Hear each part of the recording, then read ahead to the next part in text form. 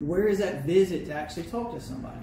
So that's what's missing is we have to have that communication. I think that most of the time, here's what's lacking in, per, in, in marketing. It's a personality. I think we can all agree. And then trust me, I'm, I'm laughing every day when I get these emails, and these are from large corporations too. They're like being too desperate. They're sounding too fake. It just doesn't it doesn't resonate with people. So give you an example. It's kind of like your family member, your daughter, your son, whoever it might be. We're seeing this done a lot. You see the you see the smiling photo, but you never get a phone call. And it's like, well, yeah, I got the impression that you're doing great, that you're happy, but where's that phone call?